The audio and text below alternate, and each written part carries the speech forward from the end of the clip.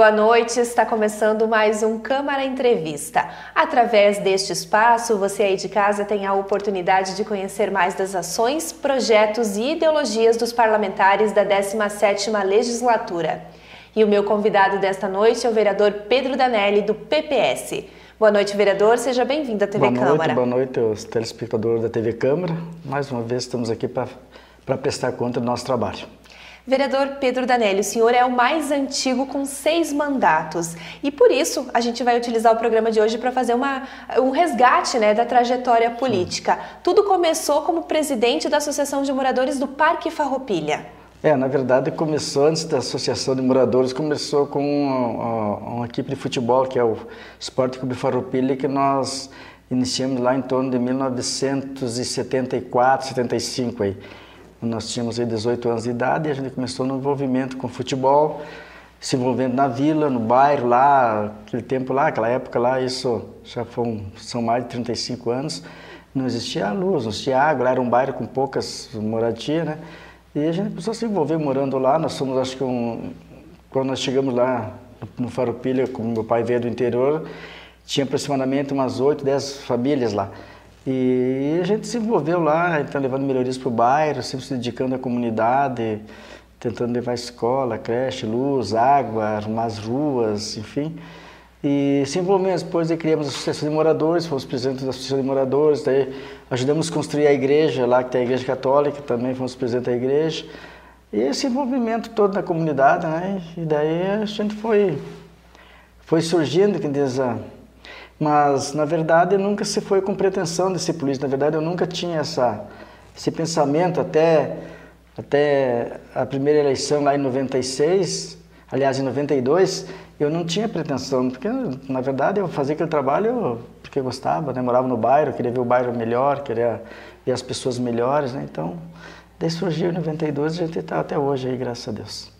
E um destaque importante também do seu trabalho junto à comunidade é que o senhor foi presidente do antigo patronato de menores. É, a gente passou por vários atividades, nós somos, contar todos aí, praticamente todos os anos a gente está envolvido com uma entidade, com, com um trabalho social, né? Nós fomos presidente do patronato, fomos, também fui é, presidente do sindicato eletricitário, diretor do sindicato, ah, enfim, praticamente todos os, os anos ou todos os dias a gente está envolvido com a comunidade, com alguma entidade, mesmo quando eu não me elegi em 2008, que era uma eleição praticamente certa, essa eleição de 2008, porque nós tínhamos um trabalho também muito bom naquela época lá, nós tínhamos se elegido lá com 12 vereadores, em 2008 também a eleição foi 12 vereadores, fomos bem votados, aí fiquei entre os cinco mais votados e não entramos.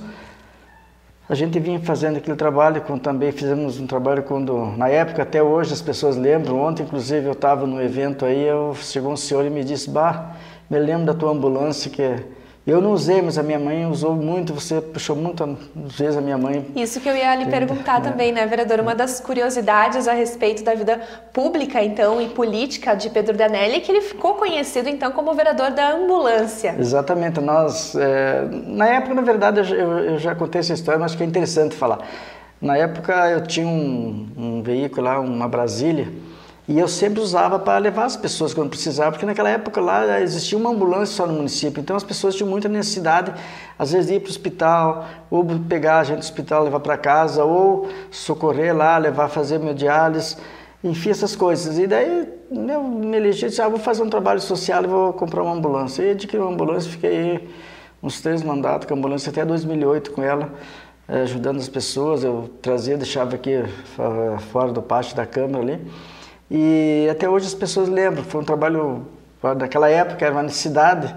E posteriormente, quando eu não me elegi em 2008, daí eu, eu não, não, não pratiquei mais esse trabalho, porque estava fora da política. Até a legislação, né, ela é, mudou e é. proibiu, é. restringiu essa questão de trabalho social com, com é, Exatamente. E quando nós voltamos em 2012, que se elegemos em 2011, é, a gente tentou é, reativar esse, esse projeto e não conseguimos, até porque é, a legislação mudou e eles exigiam que a gente tinha que ter médico, enfermeiro ambulância, que na verdade minha ambulância não era para socorrer, era para transportar as pessoas só, né? Era muito difícil assim fazer o socorro, né? Mas infelizmente não deu mais certo e a gente partiu para outros trabalhos sociais a gente faz e, e aí se elegemos e se elegemos novamente, estamos aí mais aí cumprindo nosso sexto mandato na Câmara de Vereadores. E vereador, seis mandatos junto à Câmara é realmente muita responsabilidade e ao longo desse período inúmeros projetos discutidos, aprovados, tem muita história para contar. A gente tem, passamos aí por momentos bons, momentos difíceis na Câmara, né? Porque todo projeto, às vezes que vem do Executivo ou mudança que se faz, sempre causa algum, alguma preocupação com as pessoas e e nós temos aí, eh, eu sempre digo para os colegas hoje dessa legislatura, não, não tem nem comparação com a legislatura de 93 até 2008, por ali, que era uma, uma, uma Câmara muito é, debatia muito é, política ideológica, que eu acho que sempre fui contra isso. Eu acho que é, tu tem que ter tua ideologia, mas acima da ideologia, da ideologia política do teu partido, você tem que ter uma ideologia pensando bem das pessoas. É, naquela época, lá inclusive, quando existia oposição, eles é, a oposição fazia assim tudo que fosse ruim para o município, parece que para o partido era bom, né? E eu sempre fui contra isso. E hoje está bastante mudado. Hoje não existe muita discussão ideológica na Câmara, nem existe praticamente pouca, mas existe discussão dos problemas da cidade, das, das melhorias que devem ser feitas, dos projetos que estão vindo do Executivo, dos projetos dos vereadores, se discutem mais nesse sentido. Então, teve uma mudança assim, muito grande naquela época, eu, quando eu entrei pela primeira vez e, e hoje na Câmara. Acho que eu vejo que assim está um pouco melhor hoje, porque não existe aquelas, aquelas discussões, inclusive com, com brigas, às vezes, que acontecia, porque as pessoas parece que só trabalhavam para o partido, né? Hoje não, hoje os vereadores, ao menos a gente percebe isso, o, o pensamento é na cidade, é na, é resolver os problemas da cidade. Passo Fundo é, cresceu muito nesses últimos 20 anos, a gente acompanhou aí todo o crescimento de cidades, grandes empresas indo para a cidade, é, mudanças no trânsito. Às vezes eu ando para a cidade e olho assim, bah, aquele tempo lá ia e vinha, ah, os carros hoje só vai, aquele tempo você entrava para a direita, entrava para a esquerda na Avenida Brasil, hoje não se faz mais, então a cidade cresceu muito. E com o crescimento da cidade veio os problemas, as dificuldades. Então nós, vereadores, além da nossa função, que é específica, sempre digo para as pessoas que às vezes a comunidade confunde o vereador como um executivo que tem que fazer obras, e nós somos é, legislador, nós temos que cuidar muito de fiscalizar o executivo, fiscalizar as obras que são feitas na cidade, os recursos que vêm para a cidade, para se investir tanto na saúde como na educação. Nós temos que votar os projetos do executivo que são geralmente 99% dos projetos que vêm do executivo são projetos que têm que, tem que ser feitos, tem que vir, tem que ser aprovado, uh, tem que ter mudanças, as coisas evoluem, né? nós não temos, podemos pensar 20 anos atrás, hoje nós temos um, a cidade cresce, as, as, as, redes sociais estão aí, então as coisas andam mais rapidamente e você tem que acompanhar essa evolução. E, vereador, ah, realmente para as pessoas mais leigas ainda existe essa confusão mesmo do que, que é o papel do vereador, o que, que é o papel do prefeito junto ao executivo. E acontece muito de vocês serem abordados nas ruas pedindo que resolva tal problema. E, infelizmente, vocês podem dar a ideia, mas não Sim. podem dar a solução. É, exatamente. Às vezes a gente vê pessoas colocar, aí, vereador, olha o buraco aqui, olha isso, aquilo, mas nós, nós encaminhamos. Agora, quem tem que executar é a Secretaria de Obras, é as outras secretarias, conforme o assunto, é o Executivo. E, é só que as pessoas ainda, elas têm, assim, hoje não é tanto, mas tempos atrás era mais, elas não conseguem resolver seus problemas na, na saúde, lá na educação, enfim, lá nas obras, e elas procuram o vereador. Então o vereador faz esse trabalho de, essa podemos dizer assim, com com a comunidade junto ao executivo. A gente faz muito isso. Então, as pessoas procuram e acreditam no vereador que o vereador vai conseguir resolver a solução, o problema deles. Né? Então, é bom isso, porque a gente tem outra atividade, além da nossa função específica como legislador, a gente tem essa atividade de acompanhar a comunidade, de levar os pedidos, as reivindicações, o problema deles e, enfim, fazer aquele trabalho, podemos dizer assim, muitas vezes assistencialismo. Às vezes, por exemplo, às vezes a pessoa não consegue uma cadeia de rota é, ou não sabe onde é que vai conseguir, vocês não têm, vem, ao menos eu tenho diariamente, diariamente não digo, mas semanalmente aí as pessoas procurando. Eu, é um jogo de muleta, é uma cadeira de roda, é uma cama para hospitalar para pessoas também vem procurar. Então a gente faz, nós, eu faço também esse trabalho que é muito, sou muito procurado por isso, né? Eu acho que a questão até da minha ambulância, né? as pessoas já procuram que a gente tenha essa Eu gosto de ajudar as pessoas, na verdade, se eu puder resolver o problema, conseguir atender aquela pessoa que está precisando, que vem atrás e que precisa, para mim já tá um dia, eu já ganhei o dia, né? E vereador, então, acho que é importante, como esse programa lhe resgata um pouco da sua trajetória política, a gente lembrar algumas leis né, que foram aprovadas Sim. de sua iniciativa. Uma delas, de 2016, então, ela prevê a matrícula de crianças com deficiência ou dificuldade né, de locomoção Sim. nas escolas mais próximas de suas residências. Então, resgata pra gente um pouquinho é, disso. Isso aí é, uma, é um assunto que hoje, já, tempos atrás, agora começou que o, os transportes escolares, né? Tempos atrás as pessoas, os alunos, geralmente estudavam no bairro, na escola do bairro, que, é, ou na creche, estavam ali, e essas, esses alunos estão estavam sendo transportados, por exemplo, não tem lá no bairro, leva para outro bairro, para outra escola que tem a vaga. E, e, a gente via muita reclamação, às vezes, da, do pai, da mãe, enfim, da família que tinha essa criança com alguns problemas. E a gente então é, encaminhou esse projeto que foi aprovado na Câmara e sancionado pelo prefeito para ter prioridade na onde a, a, criança mora, onde o aluno mora, que é mais próximo da sua casa, é no bairro onde ele mora, onde ele convive com as pessoas, com os, com os amiguinhos, com, com, o vizinho, com, e mais facilita mais para o pai e a mãe também levar essa criança na escola. Então, essa lei foi aprovada, está tá, tá sendo aplicada pela Secretaria de Educação é uma lei que veio atender então a necessidade dessas pessoas, dessas famílias, desses alunos, dessas crianças que têm essa dificuldade, como disse, de teriam de, um de ônibus, um transportados de um bairro para outro, no, de ônibus para ir para outra escola, porque no bairro não tinha vaga. Então, elas têm essa preferência de hoje estar estudando no seu bairro. E lá em 2017, o vereador Pedro Danelli ele sugeriu, então, através de um projeto de lei ao executivo que criasse um depósito para recolhimento de materiais, sobras de materiais da construção civil. E esse eh, material que era recolhido, então, está sendo destinado para as famílias de baixa renda e também entidades, vereador. É, exatamente. A, a nossa, foi um projeto que eu também já havia, uh, tentei quase dois anos para conseguir aprovar esse projeto. É, porque eu vejo muito materiais de construção, às vezes que sobra, é, uma reforma de uma casa, sobra material usado, sobra tinta, sobra fio de luz, sobra várias coisas. E a gente vai na Secretaria da, da Habitação, tem mais de 5 mil famílias cadastradas esperando sua casa, esperando uma ajuda do Executivo para fazer um banheiro, fazer um, uma peça mais, um quarto mais para o filho que nasceu, que a família cresceu. E o município tem essa grande dificuldade de ter recursos para construir casas, é, é, assim, bom município mesmo. E nós tínhamos essa ideia então de fazer esse projeto. Hoje o depósito é ali na, na fábrica de tubos, aqui na Vila Anes. Tem um, um prédio lá, um, um, galpão lá que tá, tem muito material lá já estocado. É, então as pessoas que têm em casa, que sobra uma porta, uma janela, um vidro, brasilete, enfim, tijolo, constrói, faz uma obra e sobra areia, sobra, sobra materiais, é só ligar para a Secretaria da Habitação, que a Secretaria da Habitação vai recolher e leva no depósito e vai distribuir para aquelas famílias que estão cadastradas lá, que, estão, que fazem os pedidos, para que atenda essas, a necessidade dessas pessoas.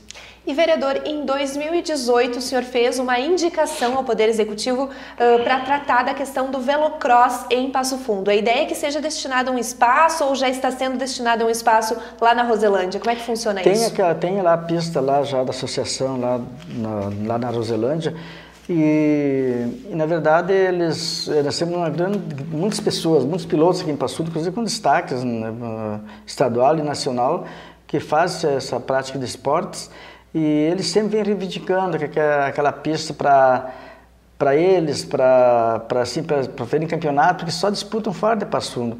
E esse é um evento que traz muita gente para a cidade. Né? Existem muitas uh, pessoas que, que praticam esse esporte. E, e a gente sempre vinha também lidando aqui ali, não, não dá porque é da Roselândia e tal. E a gente fez, conversando com o prefeito Luciano, eu sugeri a ele que fizesse essa essa concessão de comodato para a associação é, para eles usarem. E está bem, bem sinalizado esse assunto, acredito eu que... Foi uma conquista é, aí o pessoal. Exatamente, é, já, já conversamos com, com a secretaria aí e eles né, já encaminham a documentação, temos encaminhando a documentação, falta alguns documentos, e acredito que eles vão conseguir essa área em, em, então, é um contrato comodato que eles vão usando, né, não, não vem para eles definitivo, é, fica, fica para o município essa área, E eles vão fazer uma pista lá e com certeza trazer eventos para Passo Fundo e mais uma vez aí é, fazer com que a cidade é, viva é, intensamente essa questão do, do esporte, né? não só do futebol, do outro esporte, mas também o motocross, que é muito importante. E a gente vê cidades pequenas aí que movimentam toda a região. Então, Passo Fundo também não pode ficar atrás. Passo Fundo é uma cidade polo, uma cidade que toda a região vem para cá. Então, acho que mais um, mais um, mais um evento sim, seria muito importante para a cidade. Vereador Pedro, Pedro Danelli, eu peço licença para a gente fazer um rápido intervalo, mas em seguida nós estamos de volta então com o programa Câmara Entrevista, que hoje destaca então a carreira de mais de 20 anos, carreira política, sexto mandato do vereador Pedro Danelli.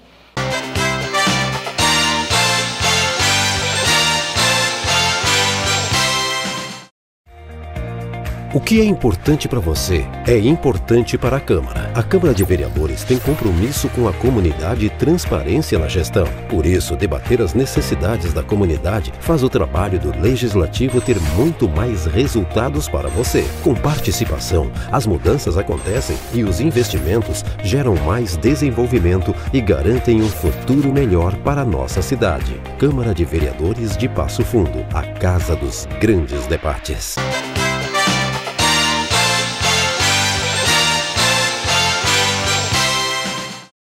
Estamos de volta com o programa Câmara Entrevista, que nesta noite recebe o vereador Pedro Danelli, do PPS, ele que está no sexto mandato e é um dos parlamentares mais antigos da casa.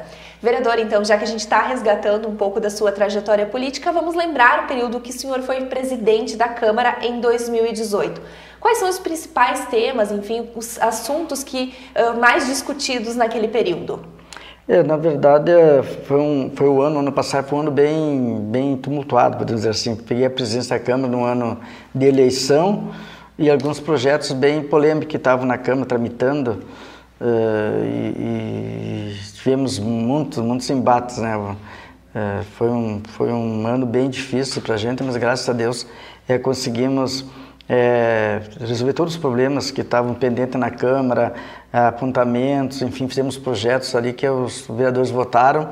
E, e por exemplo, citar um, um, apontamento que vinha há tempo já sendo apontado para o Tribunal de Contas, que a questão do, do, dos cargos na Câmara, de, comparando CC com funcionário, então que tinha muito CC na Câmara, o Tribunal de Contas vinha apontando há muitos anos que tinha que se resolver essa situação, e nós tomamos a decisão de, de tomar, de, de, de, dar um basta nisso, podemos dizer assim, e resolveu o que tinha que ser resolvido. Então, todos os apontamentos resolvemos. Aí, essa, essa questão do, do ICC, então nós, nós é, visitamos o Tribunal de Contas e conversamos com eles e fizemos um projeto no, na nossa gestão, onde a partir da próxima legislatura vai diminuir um cargo, um CC para cada vereador, para cada gabinete.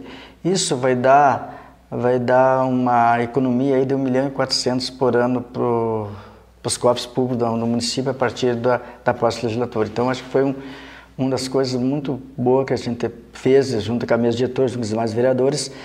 E questão de projeto polêmico, aquele de, de, projeto de gênero, que foi uma luta, um, foi um embate muito grande né, nas a escolas. ideologia de gênero. Ideologia de gênero nas escolas e foi tão difícil aquela discussão, porque já vinha já do ano anterior sendo discutido. E naquele período ali, ano passado, tinha que se colocar a votação, porque tá, o projeto está na casa, tem que se votar sim ou não, os vereadores têm que tomar decisão. E lembro a casa muito cheia, é, um, mais de 100 pessoas para um lado, outras 100 para outro, um favorável está bem dividido e contra. Então foi uma, uma votação, eu acho assim, é, junto com a votação do horário livre do comércio lá em 94, essa desse do ano passado também praticamente foi as mais difíceis que a gente passou para poder votar e tomar decisões, né? Porque na verdade não, é, tu não pode ficar ensino muro, uh, votar com restrições, uh, tem que votar sim ou não, até assumir os ônus, o bônus e o bônus, né? Então tu nunca pode ficar em cima do muro, tem que ter tua, tua posição, tu pode agradar alguns, desagradar outros, então, mas a vida é assim, né? O cargo nosso é, é essa função. É, não conseguimos agradar a todos e também não conseguimos agradar a todos. Então a gente tem que fazer aquilo que é melhor para a maioria. E nesse projeto, nós estávamos presidindo a casa, então foi muito difícil levar até o fim a votação, porque cada manifestação dos vereadores, a plateia se manifestava. E, e, e no regimento interno, a plateia, quem está assistindo, não pode se manifestar, mas enfim, não era fácil controlar aquela, tu estava presente na, naquela votação, nós conseguimos, nós parava a sessão, nós voltava, é, e fomos, graças a Deus, conseguimos é, votar o projeto.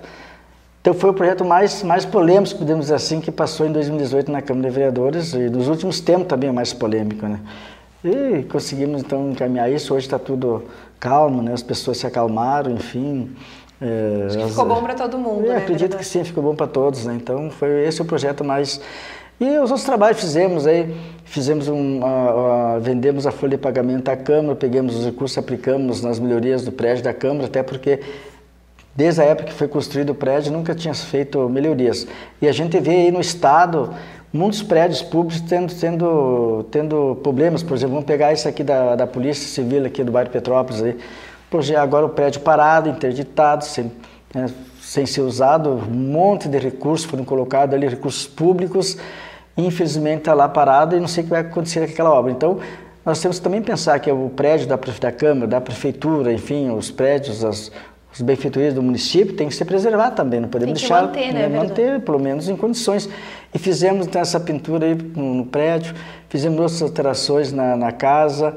Eu acho que foi assim, um mandato muito bom. Resolvemos problemas de apontamento que tinha questão dos funcionários também. É, enfim, trabalhamos aí, eu acho que foi, eu posso dizer assim que saí muito contente com o meu dever cumprido como presidente da casa. E vereador, o senhor também teve outra experiência diferente, que nem todos os parlamentares têm, de ser líder do governo. Então, articular aí as discussões junto, junto aos vereadores e também ao prefeito Luciano Azevedo. Conta é, um pouquinho a, a sobre questão isso. da liderança do governo, ela é, ela é bem, é bem, como é que assim para ti? Ela é bem complicada também, porque você, você tem que defender os projetos do governo. Tu está na base. É que, tem, que, tem, que nem eu tenho dito para muitas pessoas, às vezes, a, nós temos o PPS está na base do, do governo Luciano desde 2012, na eleição de 2011. E eu acho assim, que se você é aliado, você está de um lado, você tem que ser coerente com aquilo que você tratou e que você faz parte daquele grupo. Então, Luciano uh, me solicitou para ser líder do governo, nós, nós tivemos essa experiência, mas não é fácil também, porque uh, você tem que defender os projetos, tem que, tem que é, fazer o, aquela, aquele, aquela, aquela meio ponte, campo. meio campo, aquela ponte com a Câmara, com o Executivo, com os vereadores da base, passar para isso que está acontecendo.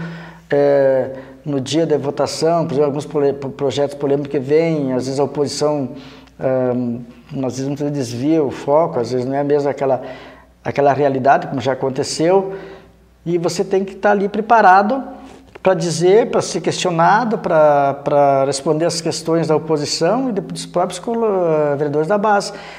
Foi uma experiência boa, acho que a gente amadureceu bastante também e vou dizer assim para a população que está nos assistindo, eu tenho uma, assim, uma, como é que assim, uma experiência muito grande assim, eu às vezes falo pouco, muito pouco, não tenho um, um discurso de político, um, um inflamado, que os outros assim, é, é, mas eu tenho é, minha, minha, minha maneira de fazer é pensar e estar tá observando o que está acontecendo. E agir na hora certa e no momento certo, entende? Não, nunca é, com a emoção, entende? Eu acho que a gente tem que sempre agir com a razão, né? A emoção, às vezes, você faz coisas erradas e você pode dizer algumas coisas que depois você não corrige mais. Então, às vezes, muitas vezes, dá vontade da gente ter é, agir, por exemplo, mas a gente segurava e segura para porque eu acho que às vezes é, não colabora, não agir com cautela. É, então tem esse, esse, essa maneira, essa forma de trabalhar na Câmara. É, respeito todos os vereadores, né? tenho, acho que cada um é responsável pelos seus atos, eu sou responsável pelos meus, então me cuido muito disso, de não entrar em polêmica, não fazer projetos polêmicos, projetos aqueles, por exemplo, fazer um projeto que vai beneficiar 50% não vale a pena. Tu vai fazer, então, numa polêmica. Então, outra coisa que também está acontecendo, e até hoje eu vinha pensando, é, na Câmara de Vereadores, em todas as câmaras, inclusive no, no governo do Estado, federal, é, não vai ter muitos projetos de lei para fazer. Porque é, nós temos muitas leis e as leis não são cumpridas. Até a gente pensou, só que isso é um trabalho muito minucioso e longo, que teria que fazer uma revisão de todas as leis que tem no município. São muitas leis. Então não adianta fazer um projeto de lei que não vai. Ah, eu fiz um projeto de lei um, um tal e não beneficiou ninguém. Então não, não vejo sentido nisso. Acho que tem, quando fazer um projeto, tem que ser um projeto que vá atender como disse, a maioria das pessoas vai, vai em conta do interesse deles. É, então, o projeto vai ser, eu vejo assim, já dá para a gente notar agora nessa legislatura, são, são, são muitos projetos dos vereadores. Mas, como eu disse, o que o vereador tem que fazer, ele tem que cuidar. Nós temos a obra, por exemplo, do Hospital Municipal. É, é, o, é, o, vereador pode ir lá na obra, fiscalizar, ver quanto foi gastado, o que falta gastar, estão fazendo bem a obra, estão é, pagando a, a empreiteira. É, então são obras na cidade que são várias estão por aí. Essa obra da Avenida Brasil, que começou lá no Trevo, lá a Avenida Brasil está sendo reformada, vai, vai, ficar muito bonita a Avenida Brasil aí, vai ficar bem, um asfalto melhor, enfim. Isso é a função do vereador fiscalizar. Então, acho que daí tem que partir para isso, e não só se preocupar querer fazer uma, só um projeto aí por fazer o projeto ali, que, como disse, que não, não vai Pensar com calma é. cada sugestão, claro, cada, cada proposta. É, e tentar sugerir sempre o executivo, que talvez que a gente tem também, anunciando um projeto ali, indicação, pedido de providência, ó, sugerir lá uma escola, uma creche, um, uma melhoria de uma rua, asfaltamento, asfaltamento de uma rua. Isso a gente, a gente faz, né, que é, faz tipo de indicação e providência e vai para a secretaria. Né? O trânsito passou num trânsito bem complicado, foi feito várias, várias melhorias no trânsito, mas mesmo assim, né, por exemplo, eu vou falar um pouquinho já que nós estamos falando do trânsito. Pode ficar à vontade. Você, você, eh, nós também na época, em torno de dois anos atrás, fizemos uma comissão especial para fazer de estudos e projetos da BR 285 e avançamos naquele período lá. Nós achamos, achamos assim que que ia ser mais rápido essa questão da, da duplicação da BR-285, porque é um problema seríssimo, né? Na Avenida Brasil, tu vai para a universidade, aí no horário de, de, da manhã, meio-dia, ali às 11 horas, uma hora, principalmente à noite, é muito difícil de transitar. Não nesse flui, não é. Flui. Então, e agora estou vendo que eles estão fazendo a ali a, na entrada da, da, do distrito industrial, aquele teve, estão dando uma melhoria ali, uma tapa, fazendo uma uma meia ajeitada ali. Então me preocupo porque vocês estão fazendo aquilo ali quer, quer dizer que a duplicação vai demorar muito mais, né? Então é um assunto que acho que a Câmara... ficar atento, né, vereador? É, a Câmara tem que levantar esse assunto também, não pode de, ficar esperando que, que, que venha lá de cima sem a gente reivindicar. E eu estou dizendo assim para as pessoas que eu acho que vai ainda se duplicar, vai ser feito a Transbrasiliana primeiro da duplicação da BR-285. E vereador Pedro, então, falta um ano e meio aí para o fim do mandato, tem muitos projetos, muita coisa ainda para ser discutida na Câmara e o senhor tem duas matérias bem importantes. Uma delas, então, prevê a distribuição de Wi-Fi, então, internet de graça nos espaços públicos do município. É, exatamente. Como eu falei no começo da minha, da minha conversa aqui, as redes sociais hoje estão, estão direto, né? E principalmente o jovem está muito ligado ao celular, à internet, eh, ao Wi-Fi uh, enfim, é, o Facebook, essas coisas todas aí. E é um projeto que já existe em alguns municípios do Brasil, onde o município não vai ter custo nenhum, ele faz um convênio com, a, com as empresas, com a iniciativa privada, e está é liberar o, o, o, o, acesso à internet nos parques, nas praças, nos, nos, nas áreas do município onde há mais movimento, por exemplo, no Roselândia, uh, ali a Gare, a praça do centro, né? Que as pessoas possam também, no caso, uh, a hora que usar isso aí para praça, para o lugar, pode também a família ir junto, às vezes o pai, a mãe tomar um chimarrão lá e o filho tá usar o está usando a internet. Então, é um projeto que não, vem, não tem custo, mas eu acho que é um projeto que está na atualidade e que seria interessante para Várias cidades já fizeram isso, é. inclusive aqui da região, né, vereador? Exatamente. Então, acho que é um projeto que também vem, como disse, vem atender o, o momento da cidade, das pessoas, né? Então, esse acho que é, vai se inscreva vai dar certo também.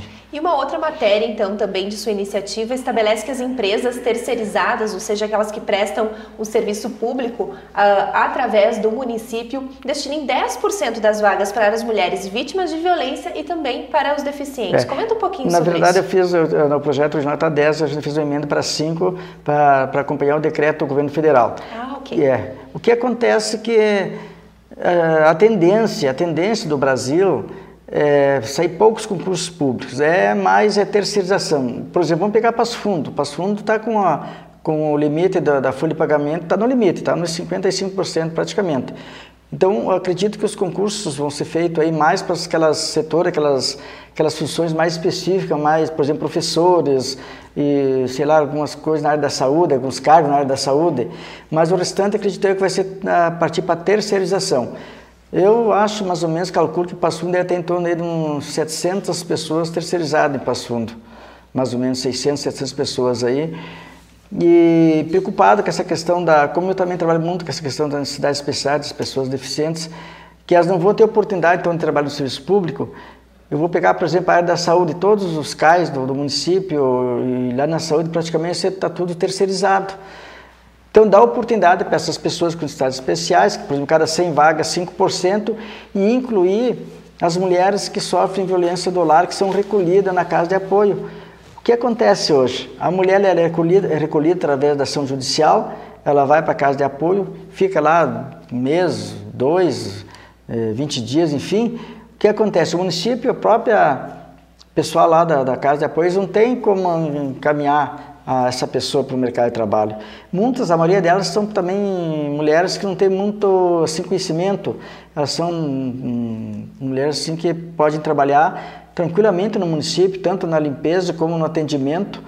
E se o município encaminhar para essas empresas terceirizadas, com certeza essas mulheres não vão voltar para casa porque elas vão ter o seu salário, vão ser, vão ser dona de si e vão evitar voltar serem agredidas. O que, que acontece hoje? A maioria delas, quando voltam para casa, são agredidas novamente. E nós estamos vendo a tendência que aconteceu nos últimos oito meses para cá no país, quantas mulheres foram assassinadas é, covardemente pelos companheiros, pelos, pelos maridos, enfim. E a nossa, a nossa lei vai também é, como é se dar uma oportunidade para essas pessoas se livrar é, do agressor, irem trabalhar e fazer sua vida, seguir sua vida normal, para independente de ser, ficar dependente do, do agressor. Então é um projeto que eu acredito que é, que é bom também e que vai, vai ajudar, vai ajudar as pessoas. Então espero que com certeza na Câmara vai passar, espero que o Poder Executivo sancione essa lei, porque eu não vejo motivos para não sancionar, porque na própria licitação, quando fizer, já pode colocar um artigo aí para as empresas é, deixar essa, essa reserva de vagas até 5% para essas pessoas com necessidades especiais que precisam trabalhar e para as mulheres que sofrem violência que também seguir sua vida, dar um autoestima para essas pessoas e, e eu acho assim um, covardemente né, o, o marido que o homem, o companheiro que agride, agride a sua companheira e para evitar de voltar para casa. Né? Então, muitas, a gente acompanha isso e fiz esse projeto até porque conversando com as pessoas que, que trabalham na casa de apoio. Vereador, infelizmente o nosso tempo do programa está chegando ao, sim, ao fim, mas eu queria, hum. antes de encerrar, um tempinho para o senhor deixar uma palavra aos nossos telespectadores. Olha, eu, eu quero, hum, sempre que eu tenho a oportunidade, eu quero agradecer a comunidade de Passo Fundo que me acolheu. Eu, eu sou natural de Água Santa, venho vim com 13 anos para Passo Fundo com a minha família. Sou um, um filho mais velho do, da, do, meu pai e da mãe, de 10 irmãos. E vim para a cidade, a gente lutou, trabalhou, temos aqui na Câmara com o objetivo de ajudar a cidade, ajudar as pessoas. Agradecer mais uma vez aquelas pessoas que confiam em mim, que sempre têm, têm votado em mim, me trazido para a Câmara. Eu tenho dito que o político ele entra através do voto sai através do voto. Como eu saí em 2008 não me elegi, na verdade não, não queria, não pretendia mais voltar na política, fui um convite ao Luciano, voltei, estamos aí novamente trabalhando e eu acho que a vida da gente e, a, e o caminho da vida profissional da gente, o político, se entrega na mão de Deus, que Deus faça melhor para a gente e se eu estou aqui todo esse tempo é porque eu acho que é uma vontade dele para mim poder fazer meu trabalho, aquilo que eu gosto de fazer para as pessoas. Muito obrigada mais uma vez, vereador. Obrigado. E você que está em casa, a gente também agradece a companhia. Uma ótima noite e até a próxima semana.